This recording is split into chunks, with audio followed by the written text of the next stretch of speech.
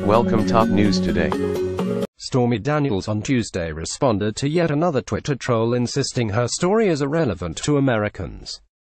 Why don't you just disappear? Twitter user Mike Magro said in the tweet Daniels cited. No one cares you were a slut and slept with POTUS 12 years ago. At Stormy Daniels why don't you just disappear? No one cares you were a slut and slept with POTUS 12 years ago. Mike Magro at InkEdsKindorg March 20, 2018 After making a joke about there being no sleeping during her alleged affair with President Donald Trump, the adult film star went on to highlight exactly why people care about her story. People do care that he lied about it, had me bullied, broke laws to cover it up. Daniels tweeted, and P.S. she continued, I'm not going anywhere. Technically I didn't sleep with the POTUS 12 years ago. There was no sleeping he he and he was just a goofy reality TV star.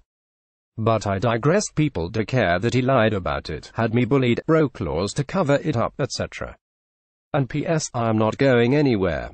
Zoxoxo https t.coj 9 Sinanic, Stormy Daniels at Stormy Daniels March 20, 2018 Earlier in March, Daniels blasted another pro-Trump troll who appeared mistaken when he suggested that the president would not want to have sex with her when he has Ivanka.